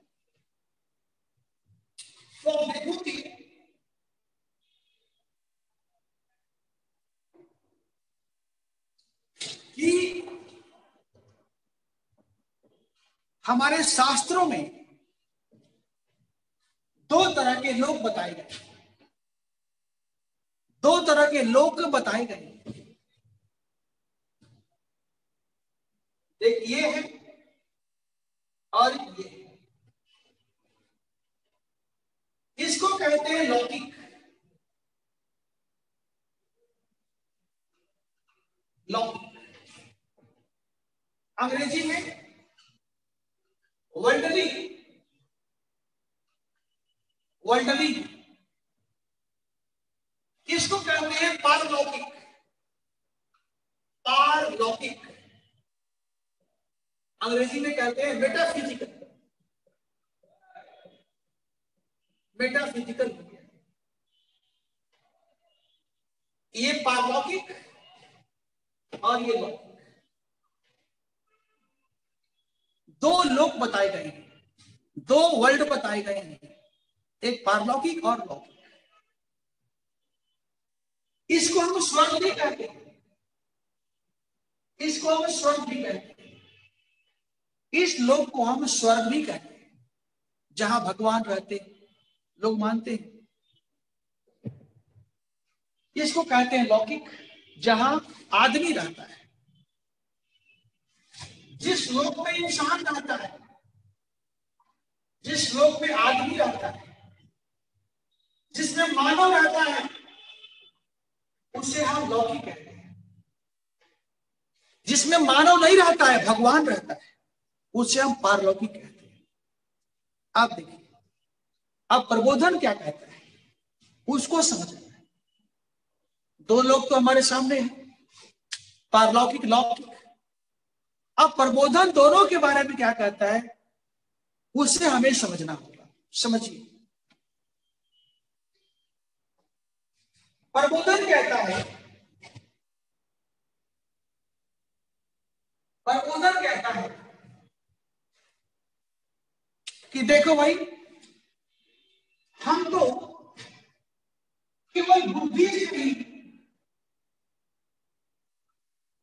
केवल बुद्धि से ही चीज़ों को समझते हैं। प्रबोधन कहता है कि देखो जी, हम तो बुद्धि से ही चीज़ों को समझते हैं। हम तो बुद्धि से ही चीज़ों को समझते हैं। लेकिन जो हमारी बुद्धि है वह यहाँ पर काम नहीं करती जो हमारी बुद्धि है वह यहाँ पर काम नहीं करती यानी हम कितना भी तर्क करते हैं, लेकिन यहाँ जो आते हैं, यहाँ पर आते हैं तो बुद्धि हमारा साथ छोड़ देती है। बुद्धि हमारा साथ छोड़ देती है। हम कितना तर्क करेंगे? भगवान कहाँ पर है? वो क्या खाता है? वो कहाँ रहता है? वो कब सोता है? वो कब हंसता है? वह क्या करता है? इसका कोई अंत नहीं। एक मानव के बारे में हम बता सकते हैं। बुद्धि के द्वारा। मानव क्या खाता है? कब सोता है? कब रहता है? कब हंसता है? लेकिन भगवान के बारे में इन प्रश्नों का उत्तर देना हमारे बस की बात ये कहता है कौन? बुद्धि कहता है। यानी बुद्धि कहता है कि देखो भाई, इस दुनिया को, ये दुनिया जहाँ हम रहते हैं, इस दुनिया को हम बुद्धि के माध्यम से, विज्ञान के माध्यम से समझ सकते हैं। लेकिन जब इस दुनिया की हम बात करते हैं तो इसको हम बुद्धि के द्वारा नहीं समझ सकते। तो फिर हम कैसे समझेंगे? तो मानव कहता है, इसको समझने के लिए हमें क्या करना पड़ेगा? विश्वास करना पड़ेगा। इसको समझने के लिए हमें आस्था आस्था रखना इसको समझने का मार्ग बुद्धि नहीं है, बल्कि क्या है? फेथ यानी कि विश्वास। यानी कन्विक्शन है। इस दुनिया को समझने का रास्ता बुद्धि नहीं है विश्वास है। भगवान है तो मान लो भगवान। भगवान क्या खाते हैं? भगवान अंगूर खाते हैं मान लो अंगूर खाते हैं। भगवान सोते कहाँ है? उनका जो उनका जो बिछावना है बिछावन है उनका जो आ, सोने का जो स्थान है वो सोना का बना हुआ है। गोल्ड से बना हुआ है हीरा से बना हुआ है मान लो। Means you cannot use reason to prove God भगवान को सिद्ध करने के लिए you can't use reason The only way to know God is not reason, but faith, conviction, विश्वास. अब देखो अब प्रबोधन क्या कहता है? प्रबोधन कहता है समझो मेरा इसका निष्कर्ष है। प्रबोधन कहता है कि सुनो, जब तुम बुद्धि के द्वारा उस दुनिया को नहीं जान पाते हो, जब तुम बुद्धि के द्वारा उस जगत को नहीं जान पाते हो तो अपना समय व्यर्थ में क्यों बर्बाद करते हो? जिसको तुम्हारे पास जानने का साधन है ही नहीं। तो बिना वजह अपना समय बर्बाद क्यों करते हो? तो उस मानव ने कहा कि मैं क्या करूँ? तब जितने विचारक हैं, सबने कहा कि हम लोग बताते हैं तुम क्या? जितना तुमने अपना श्रम, अपना लेबर जितना तुमने अपना श्रम अपना बुद्धि, उस भगवान को जानने के लिए लगाया। उतना तुम इस दुनिया में, इस धरती में जहाँ तुम रहते हो, इसमें लगाओ। इसमें लगाओगे तो आर्थिक विकास होगा, सामाजिक विकास होगा, सांस्कृतिक विकास होगा, कोई गरीब नहीं रहेगा। कोई भूखे नहीं सोएगा। सबके लिए इलाज का इलाज का हॉस्पिटल होगा। सबके लिए स्कूल, कॉलेज होगा। सुख सुविधा होगा। और लोग कहना शुरू करेंगे, अपना घर ही स्वर्ग है। अपना घर ही स्वर्ग है। ये प्रबोधन का मैसेज है। Don't waste your time about the heaven why not work to make this land heaven अपना समय उस स्वर्ग को जानने के लिए बर्बाद मत करो। व्यर्थ है। क्यों नहीं? जहाँ रहते हैं उसे स्वर्ग बना दो। बच्चों, इसका परिणाम जानते हो क्या हुआ? इंग्लैंड में औद्योगिक क्रांति हुई। याद करो इंग्लैंड में औद्योगिक क्रांति। यही वजह है, जब मानव ने अपना पूरा धन, अपना पूरा मन इस धरती को स्वर्ग बनाने के लिए लगाना शुरू किया, बहुत एडवांस डेवलपमेंट हुआ। और इंग्लैंड दुनिया का सबसे धनी राष्ट्र बन गया। उस औद्योगिक क्रांति ने इंग्लैंड का रहन सहन सोच, पहनावा परब त्योहार, सबको बदल डाला। अब कोई गरीब नहीं है, सब धनी हो गए। ऐशो आराम के जीवन जीने लगे। स्वर्ग क्या करता है? स्वर्ग यही देता है। स्वर्ग के बारे में यही कहा जाता है ना, कि वहाँ कोई दुखी नहीं रहता है। सब लोग सुखी रहते हैं। अच्छा अच्छा खाने को मिलता है। तो भाई जब घर में ही आपका स्वर्ग बन जाएगा, उस स्वर्ग के बारे में सोचना आप क्यों चिंता करते हो? ये आपका है ये लौकिकता। ठीक है? बच्चों, समय होगा तो बताइएगा समय, क्योंकि तो मेरे पास अभी घड़ी है नहीं, ठीक है?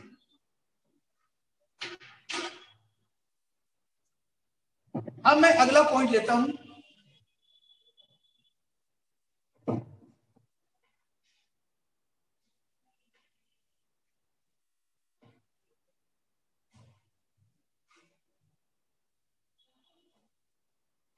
अगला जो पॉइंट है, वह आशावाद है। ओके ओके वह क्या है? आशावाद आशावाद ध्यान दीजिए, आशा आशावाद क्या कहता है? इसका मतलब क्या आशावाद का मतलब हमें अपने मन में आशा रखना चाहिए होप रखना चाहिए। हमें कभी भी निराश नहीं होना चाहिए। निराश नहीं होना चाहिए। हमें कभी भी निराश नहीं होना चाहिए। हमेशा आशावान बने रहना चाहिए। आशावाद कहता है कि देखो, ये परिवर्तन है। ये परिवर्तन है। और जो परिवर्तन होता है, वह प्रकृति का नियम होता है। जो परिवर्तन होता है, वह प्रकृति का नियम होता है। वह क्या होता है? प्रकृति का नियम होता है। परिवर्तन प्रकृति का नियम होता है। यानी दुनिया में कुछ भी अस्थाई नहीं। दुनिया में कुछ भी अस्थाई नहीं। वह परिवर्तनशील है। वह परिवर्तनशील है। अतः, देखो कितना सुंदर बात कहता है। अतः, हमारा दुख हमारा दुख हमारा शोषण भी अस्थाई नहीं, भी अस्थाई नहीं। देखो, कितना लॉजिकल है, कितना तार्किक है। आप इसको यहाँ से पढ़िए। ये पूरा दर्शन है फिलोसॉफी है, इसमें तर्क है। आप पढ़िए यहाँ से। आशावाद का अर्थ होता है कि हमें आशावादी रहना चाहिए। हमें निराश नहीं होना चाहिए। सॉरी हमें निराश नहीं होना चाहिए। हमें आशावादी रहना चाहिए। आगे क्या कहता है? आगे कहता है कि जो परिवर्तन होता है, जो परिवर्तन होता है, वह प्रकृति का नियम होता है। वह प्रकृति का नियम होता है। यानी क्लाइमेट में भी बदलाव होता है। ठंडी, गर्मी, बरसात, इसमें भी बदलाव होता है। तो परिवर्तन प्रकृति का नियम है। इसका मतलब दुनिया में कोई अस्थाई नहीं। जब दुनिया में कुछ भी अस्थाई नहीं है, इसका मतलब कि हमारा दुख, हमारा दर्द अन्याय, शोषण भी अस्थाई उसका भी खात्मा होना है, उसका भी समाप्त होना है, उसका भी उन्मूलन होना है। लेकिन यदि हम निराश हो जाएँगे तो यह नहीं होगा। यदि हम निराश हो जाएँगे तो बच्चों, क्या होगा? हम प्रयास को छोड़ देंगे। हम निराश हो जाएँगे तो हम प्रयास को छोड़ देंगे। प्रयास को छोड़ देंगे। और जब हम प्रयास को छोड़ देंगे तो परिवर्तन रुक जाएगा। जब परिवर्तन रुक जाएगा तो दुख बढ़ जाएगा, अन्याय बढ़ जाएगा, शोषण बढ़ जाएगा। इसलिए हमें किसी भी हालात में अपनी आशा को नहीं छोड़ना है, क्योंकि अंधकार के बाद सदैव उजाला आता है। उजाला के बाद सदैव अंधकार आता है। कभी ऐसा नहीं हुआ है कि हमेशा अंधकार ही अंधकार रहे। और हमेशा प्रकाश ही प्रकाश रहे। यह नेचर का लॉ है कि पहले अंधेरा होगा, उजाला होगा, फिर अंधेरा होगा, उजाला होगा। लेकिन हमें अपनी आशा को नहीं छोड़ना है। दिस इज़ कॉल्ड आशा। अगला मैं लेता हूँ। अगला है साहसिकता। अगला है साहसिकता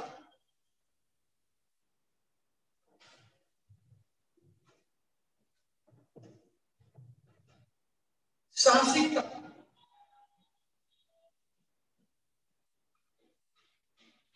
ध्यान दे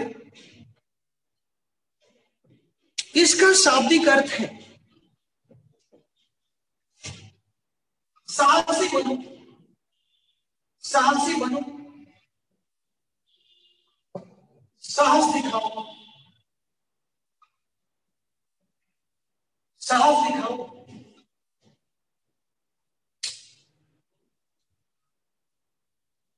भय मुक्त बनो। भय मुक्त बनो। भय मुक्त बनो। ये कहता है, साहसी बनो। ये कहता है, साहस दिखाओ। यह कहता है भय मुक्त बनो।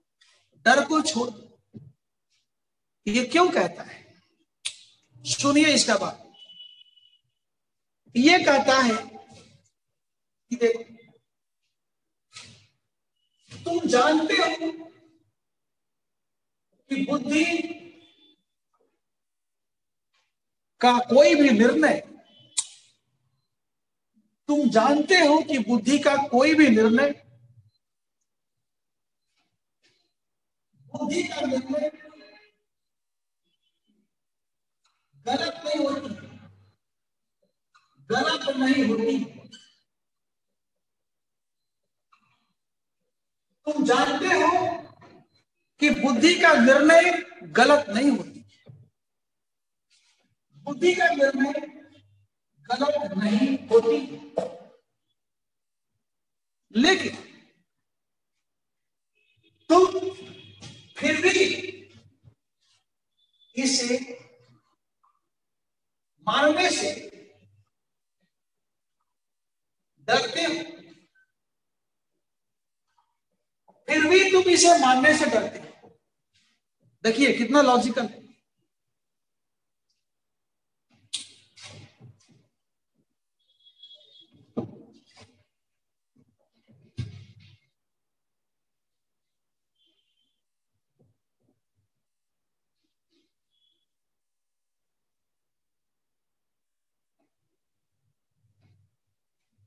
क्लास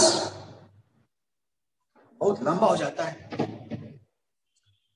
यहाँ मैं क्लास साढ़े आठ बजे से लेता हूँ। साढ़े आठ से ग्यारह बजे तक। क्लास के बाहर जाता हूँ। ऑफ़िस बच्चे निकलते हैं। सर, ये बताइए, वो बताइए। तब तक बच जाता है साढ़े ग्यारह। आपका शुरू हो जाता है। यानी पर डे मुझे साढ़े चार घंटा बोलना पड़ता है। अभी जो मैंने क्लास छोड़ा है, वो प्योर इंग्लिश मीडियम क्लास है। प्योरली इंग्लिश मीडियम, करीब साठ सत्तर बच्चे, पूरा इंग्लिश मीडियम क्लास है। इसके बाद फिर आपका हिंदी मीडियम क्लास हो ठीक है? देखिए, हम लोगों से सीखिए, आप भी मेहनत करिए। जीवन में कुछ भी प्राप्त करना है, बिना मेहनत के नहीं इसे सीखिए मैं क्या कर रहा हूँ। समझिए बात। सात्विकता। बुद्धि का निर्णय गलत नहीं होता। ठीक है?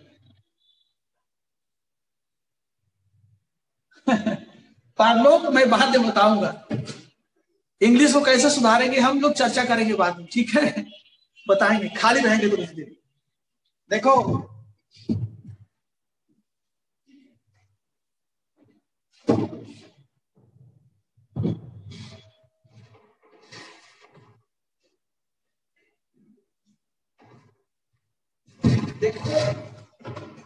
दिल्ली से इलाहाबाद आने का मतलब ये नहीं है कि मैंने काम छोड़ दिया है। जो मैं वहाँ काम करता था, यहाँ भी कर रहा हूँ। देखो, ये किताब मैंने आज मंगाई है, देखो। डिबेटिंग इंडिया इस किताब में बताया गया है कि पिछले हिंदुस्तान में प्राचीन काल से हम लोग इतना आपस में हम लोग ओपन होते हैं कि हम लोग कभी भी डिबेट करते हैं। यानी हम किसी के साथ सहमति रखते हैं या नहीं रखते हैं। लेकिन सबको बोलने का आज़ादी हम स्वीकार करते हैं। आज ही मंगाया तो यहाँ भी आ रहा है किताब, एक किताब और लाए हैं। वो किताब अभी एक बच्चे को दी है पढ़ने के लिए। सीखिए। बुद्धि का निर्णय कभी गलत नहीं होता है। बस थोड़ा सावधानी फिर भी तुम मानने से डरते हो? पलवी ठीक है मेरा एजुकेशन जो है आ, क्लास इलेवन तक यानी मैट्रिक और इंटर पलवी क्लास इलेवेंथ। मैट्रिक और इंटर तक मैं हिंदी माध्यम से पढ़ा इसके बाद बीए एमए एलएलबी मैंने इंग्लिश माध्यम से किया है। चूँकि उस समय हमारे पास शहर में जाने का अवसर नहीं था, इसलिए हम बचपन से किसी कन्वेंट में, किसी इंग्लिश मीडियम स्कूल में नहीं जा पाए। लेकिन इंटर के बाद जैसे मौका मिला तो हमने अपने आप को इंग्लिश मीडियम में पढ़ाई की। इलाहाबाद, मेरा जो विश्वविद्यालय है इलाहाबाद इलाहाबाद यूनिवर्सिटी से हमने किया। हमने जो है अध्ययन किया है, यहाँ से एजुकेशन लिया है। ठीक है। चलिए हम लोग आगे बढ़ते हैं। तो ये कहता है कि बुद्धि कभी गलत निर्णय नहीं देती। फिर भी तुम मानने से डरते हो। फिर भी मानने से डरते हो।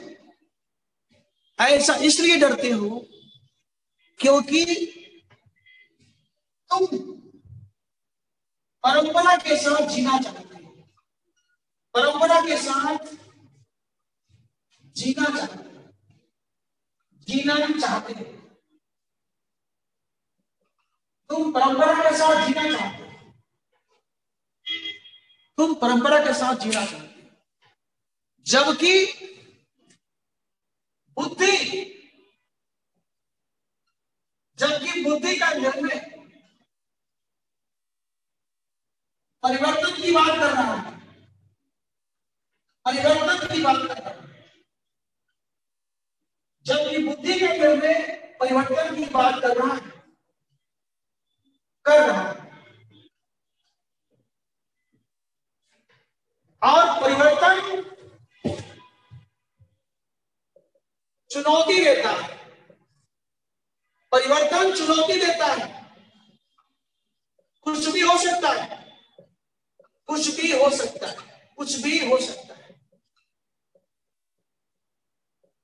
पास भी और फेल भी। इसलिए डर लगता है। इसलिए डर लगता है। इसलिए डर लगता है। इसलिए डर लगता है। देखिए, कितना लॉजिकल है, समझाते हैं? बस एक सेकंड बुद्धि का निर्णय कभी गलत नहीं होती। है फिर भी तुम डरते हो? तुम जानते हो कि बुद्धि का निर्णय कभी गलत नहीं होती है, फिर भी डरते हो? तुम इसलिए डरते हो क्योंकि तुम परंपरा के साथ जीना चाहते हो। तुम परंपरा के साथ जीना चाहते हो। क्यों? क्योंकि परंपरा तुम्हें सुरक्षा देती है। परंपरा तुम्हें सुरक्षा देती है। और परिवर्तन चुनौती देता है। और चुनौती लेने के बाद दोनों हो सकता है, पास भी और फेल एक मैं एग्ज़ाम्पल देता हूँ। एक मैं एग्ज़ाम्पल देता हूँ, बच्चों एग्ज़ाम्पल सुनिए बात। और ये एग्ज़ाम्पल जो है, इसी कोचिंग का जो मैं एग्ज़ाम्पल दे रहा हूँ वह इसी कोचिंग का एग्ज़ाम्पल है। इसी कोचिंग का एग्जांपल इलाहाबाद का। आप नहीं जानते हैं तो जान जाइए। जो इलाहाबाद का चाणक्य है, इलाहाबाद का, जो ब्रांच है, इसको पहले देखते थे पांडे सर। पवन पांडे देखते थे इस कोचिंग का। मतलब ब्रांच हेड वही थे, पवन पांडे। इस कोचिंग का इलाहाबाद ब्रांच का। और ये हमको देखा हुआ घटना है। तो उनका एक भाई आईआरएस हो चुका था। उनका एक भाई, छोटा भाई आईआरएस हो चुका था। जो उनसे छोटा था, जिसको हम मतलब तीन भाई हैं तो बीच वाला बीच वाला आईआरएस हो चुका था जो सबसे छोटा भाई है, वह इंजीनियर था। क्या था? इंजीनियर और कहाँ पर? यूएस अमेरिका कहाँ पर था? अमेरिका छोटा भाई और बड़ा भाई कोचिंग चलाते थे। बड़ा भाई कोचिंग एक आईआरएस और एक इंजीनियर अमेरिका इसका सैलरी बहुत था, पैसा बहुत कमाता था। अमेरिका में जो इंजीनियर था अब देखिए क्या होता है। जो आईआरएस था, उसने इससे कहा, किससे कहा, इससे कहा, कि ऐसा करो कि तुम भी ट्राई करो एक बार आईएएस तो बोला कि यार, नौकरी छोड़ना पड़ेगा। आई तैयारी करने के लिए मुझे अमेरिका से भारत आना पड़ेगा, जॉब छोड़ना पड़ेगा। तब ये जो था इसने इसको भरोसा दिलाया? इसने इसको भरोसा दिलाया? कि तुम नौकरी की चिंता मत करो। हम है तो? मेरा पद आईआरएस है। इंडिया में भी बड़ी बड़ी कंपनियाँ हैं। हम तुमको रखवा देंगे। एक बार तुम काम करो, नौकरी छोड़ो, तैयारी करो। उसने नौकरी छोड़ दी। नौकरी छोड़ दिया। और तैयारी किया। जिस साल नौकरी छोड़ा, उसी साल वो बन गया। आईआरएस उसी साल बन गया आईआरएस उसके अगले साल बन गया आईएएस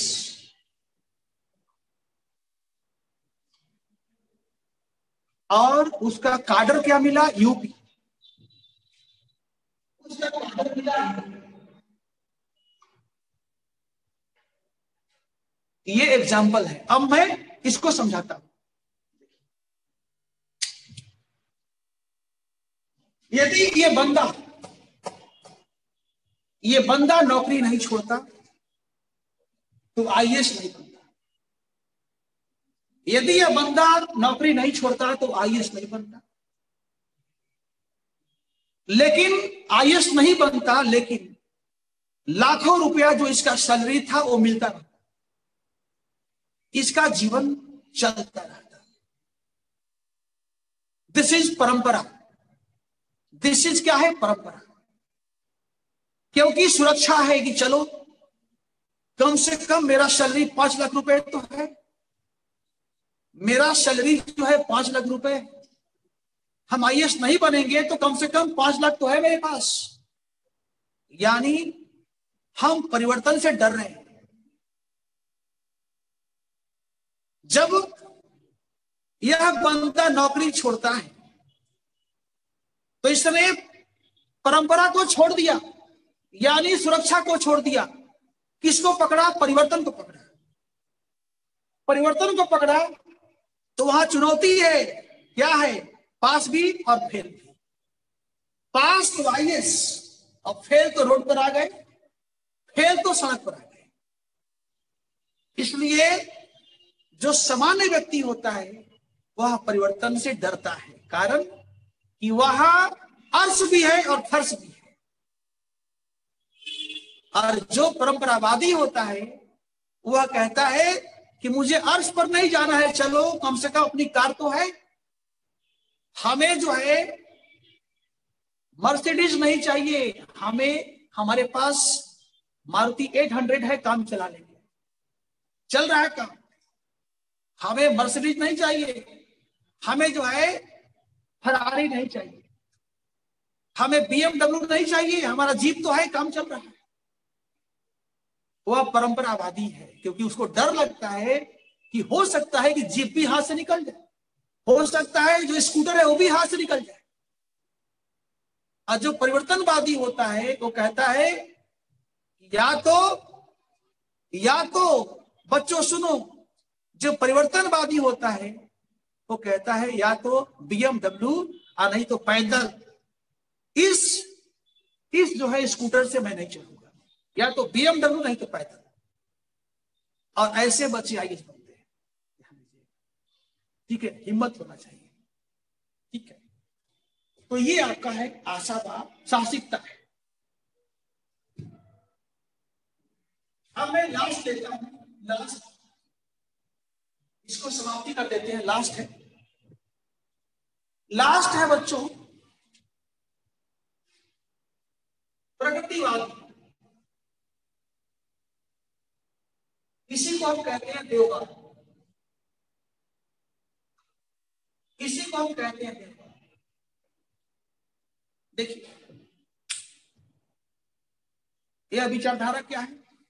समझिए बात। यह कहता है कि ये धरती है और ये स्वर्ग है। ये धरती है, ये स्वर्ग है। यानी ये लौकिक है और ये पारलौकिक है। और ये पारलौकिक यह कहता है कि इसका क्षेत्र अलग है। इसका क्षेत्र अलग है और इसका क्षेत्र अलग है। दोनों का अपना अलग अलग क्षेत्र ये अलग है अलग यह कहता है कि ये न तो अपने क्षेत्र का अतिक्रमण करता है न यहाँ जाता है, स्वर्ग न यहाँ दोनों का अपना अलग अलग क्षेत्रों का विभाजन किया गया है। इसी बात पर इस प्रबोधन के विद्वान कहते हैं, क्या कहते हैं? ध्यान से सुनिए। बहुत अच्छी बात बोला है। कहा, ये चर्च है इससे कहा? ये ब्राह्मण है इससे कहा? यूरोप में चर्च से कहा, इंडिया में ब्राह्मण से कहा। क्या कहा? सुनिए ध्यान से। वो कहा कि तुम ये बताओ कि बार बार लोगों के धार्मिक जीवन में बार बार लोगों के धार्मिक जीवन में तुम लोग हस्तक्षेप क्यों करते हो? लोगों के धार्मिक जीवन में तुम दोनों हस्तक्षेप क्यों करते हो? कौन कहता है? जो विद्वान है वो कहता है। जो पढ़ा लिखा लोग है वो कहता है। कौन कहता है? जिसके पास तर्क बुद्धिवाद है, विज्ञान का ज्ञान है, वो कहता है कि तुम दोनों चर्च और ब्राह्मण तुम इस प्रश्न का उत्तर दो कि दोनों तुम लोगों के निजी जीवन, लोगों के निजी धार्मिक जीवन में बिना वजह रोज रोज हस्तक्षेप क्यों करते हो? अरे भाई, छोड़ो। वो जिस तरह से पूजा करना चाहते हैं, नहीं करना चाहते हैं, उनको छोड़ो। रोज रोज हम देखते हैं रोज रोज हम देखते हैं। तुम दोनों का हस्तक्षेप होता रहता है। तब चर्च ने कहा, ब्राह्मण ने कहा कि हमें लोगों के निजी धार्मिक जीवन में हस्तक्षेप करने का अधिकार है। तब उस विद्वान ने कहा कि अधिकार कहाँ से तो कहा, भगवान ने दिया, पहले से है। यानी हमें अधिकार दिया गया है कि हम लोगों को बताएँ कि उन्हें अपने धर्म का पालन कैसे करना चाहिए। तब वहाँ कांट आता है। कौन आता है? कांट आता है। याद है बच्चों? तब यहाँ पर कांट आता है। ये कांट कौन है? ये कांट जो है, इसका जन्म हुआ था जर्मनी में। इसका जन्म हुआ था जर्मनी कब हुआ था एटीन सेंचुरी तब कांट आता है।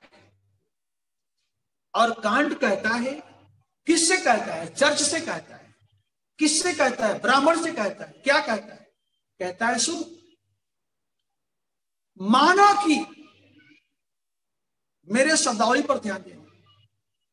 माना कि इस धरती को किसी भगवान ने बनाया मान माना कि इस धरती को किसी गॉड ने बनाया है, किसी पैगंबर ने बनाया है, किसी मसीहा ने बनाया है। मान ली। किसे कहता है? चर्च से कहता है, ब्राह्मण से कहता है। मान लिया, इस धरती को किसी भगवान ने बनाया लेकिन एक बार बनाने के बाद भगवान भी बार बार इसमें, बिना वजह, लोगों के धार्मिक जीवन में कोई हस्तक्षेप नहीं करता है। उनको छोड़ देता है कि जैसे वे जीना चाहते हैं, जिए। भगवान रोज रोज उनके जीवन में हस्तक्षेप नहीं करते। बस थोड़ा हो गया हो गया हो गया हो गया। हस्तक्षेप नहीं करते। ठीक है, बस एक सेकेंड, हो गया। ठीक वैसे कांट एग्ज़ाम्पल देता है बच्चों। ठीक वैसे जैसे, जरा ध्यान रखना, जैसे जैसे मान लो ये घड़ी। ये घड़ी है। ये बारह हो गया, ये छह हो गया। मान लो ये घड़ी है। ठीक। कांड कहता है। घड़ी बनाने वाला, जो वॉचमैन है, जो वॉचमैन है, वह घड़ी को बना देता है। और एक बार इसका टाइम ही मिला देता। है एक बार टाइम ही मिला देता है मिला देता। है कितना बजा है? अभी डेढ़ बजा। है अभी बजा है वन थर्टी पीएम बजा है। डेढ़ बजा। है बार बार वह अपने अनुसार इस घड़ी को डिस्टर्ब नहीं करता है। ऐसा नहीं करता है कि जब इच्छा उतना बजाती है। अब घर में आते हैं, पिताजी जो है, पिताजी गुस्सा में है तो हमने कह दिया कि भाई अभी तो कितना टाइम हो रहा है, छह बज रहा है। जबकि रात का दो बज रहा है। ऐसा वॉचमैन नहीं करता। कांट यही कहता है कि जैसे वॉचमैन घड़ी बनाने के बाद घड़ी को छोड़ देता ठीक उसी तरह से भगवान इस धरती को बनाने के बाद धरती को छोड़ तब तुमको अधिकार किसने दिया? जब भगवान ने छोड़ दिया तो हु आर यू फिर तुम कौन होते हो? और ये कह करके, और यह कह करके कांट ने धार्मिक क्षेत्र में चर्च का जो जो हस्तक्षेप हो रहा था, उस पर उसने रोक लगा and this is all about today ठीक है? हम आशा करते हैं कि आज क्लास मुझे भी अच्छा लगा और आपको भी अच्छा लगा होगा। और कल परसों, यानी कि मंडे को हम लोग चर्चा करेंगे रूसों के बारे में और कांड के बारे में। आप लोग पढ़ के आइएगा। Thank you God bless you have a nice day